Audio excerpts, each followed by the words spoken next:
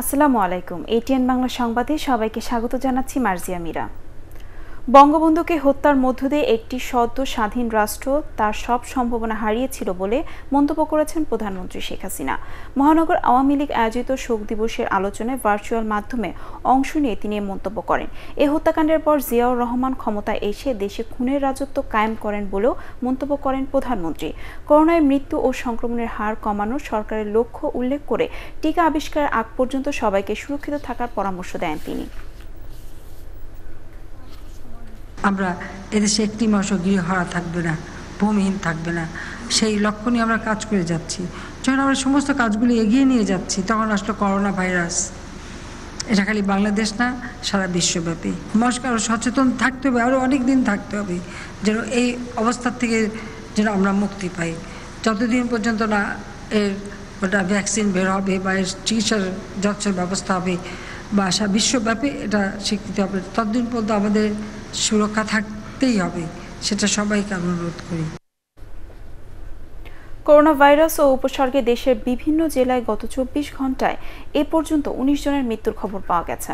এর মধ্যে গত চব্বিশ ঘন্টায় খুলনার ডেডিকেটেড হাসপাতালে পাঁচজন ও মেডিকেল কলেজ হাসপাতালের করোনা আইসোলেশন ওয়ার্ডে চিকিৎসাধীন করোনা উপসর্গ নিয়ে তিনজনের মৃত্যু হয়েছে। বিভাগে নতুন শনাক্ত একশো উনসত্তর জন। বরিশালে করোনায় পাঁচজনের মৃত্যু হয়েছে। এছাড়া বিভাগের ছয় জেলায় নতুন শনাক্ত হয়েছে নয় জন। এছাড়া করোনায় রাজবাড়ী সদর উপজেলার সাবেক চেয়ারম্যান ও জেলা বিএনপি সাবেক সম্পাদক অ্যাডভোকেট এম এ খালেদ মারা গেছেন। চট্টগ্রামে নতুন করে একজন মারা গেছে আর শনাক্ত হয়েছে ২৬ জন। বগুড়ায় করোনা পজিটিভ হয়ে মারা গেছেন একজন, জেলাতে নতুন শনাক্ত একষট্টি জন, জেলায় আক্রান্ত, নতুন আক্রান্ত হয়েছেন ৩৫ জন। এছাড়াও করোনা ভাইরাসে পজিটিভ হয়ে মারা গেছেন নাটোর সদর হাসপাতালের অবসরপ্রাপ্ত সিনিয়র মেডিকেল টেকনোলজিস্ট আলহাজ ওয়াজেদ আলী, জেলায় নতুন আক্রান্ত আটাশ জন। এছাড়া জামালপুরে দুর্যোগ ব্যবস্থাপনা ও ত্রাণ মন্ত্রণালয়ের উপসচিব কোরবান আলী সহ নতুন করে আরও জন করোনায় আক্রান্ত হয়েছেন। অবসরপ্রাপ্ত মেজর সিনহা মোহাম্মদ রাশেদ খান হত্যা মামলায় আদালতে স্বীকারোক্তিমূলক জবানবন্দি দিচ্ছেন প্রধান আসামি বরখাস্ত এস আই লিয়াকত আলী। তৃতীয় দফায় রিমান্ড মঞ্জুরের একদিন পর দুপুরে তাকে সিনিয়র জুডিশিয়াল ম্যাজিস্ট্রেট আদালতে নেওয়া হয়। এর আগে শুক্রবার তৃতীয় দফায় বরখাস্ত OC Pradip Kumar Das, S I Liaquat Ali এবং এ এস আই নন্দদুলার রক্ষিতের তৃতীয় দফায় তিন দিনের রিমান্ড মঞ্জুর করেন আদালত। গত একত্রিশ জুলাই রাতে কক্সবাজার টেকনাফ মেরিন ড্রাইভের বাহারছড়া শামলাপুর চেকপোস্টে পুলিশ পরিদর্শক লিয়াকত আলীর গুলিতে নিহত হন সিনহা। এ ঘটনায় টেকনাফ থানায় দুটি এবং রামু থানায় একটি মামলা দায়ের করা হয়। মামলায় এ পর্যন্ত সাত পুলিশ সদস্য এপিবিএনের তিন সদস্য এবং টেকনা পুলিশের করা মামলার তিন সাক্ষী সহ তেরো জনকে আটক করেছে র্যাব।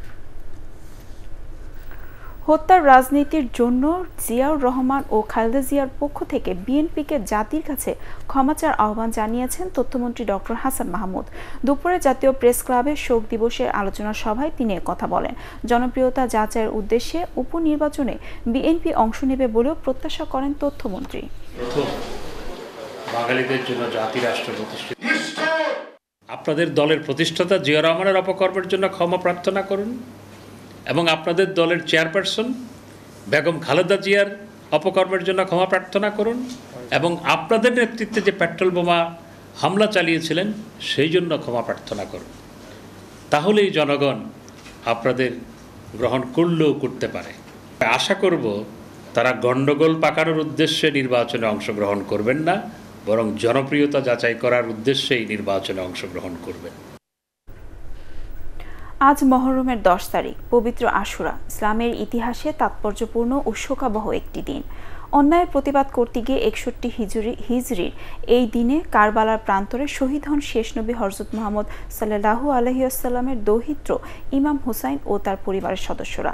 এই দিনেই মহান আল্লাহ তার আরস কুরসি, আসমান ও জমিন এবং প্রথম মানুষ হিসেবে হজরত আদম আলাহিউসাল্লামকে সৃষ্টি করেন। এছাড়াও নুহের প্লাবন হজরত ইব্রাহিমের জন্ম ও নমরুদের অগ্নিকুণ্ড থেকে উদ্ধার লাভ, মাছের পেট থেকে হজরত ইউনুসের মুক্তি এবং হজরত ইসার জন্মগ্রহণ সহ ইসলামের ইতিহাসে অসংখ্য ঘটনা ঘটে এই দিনে।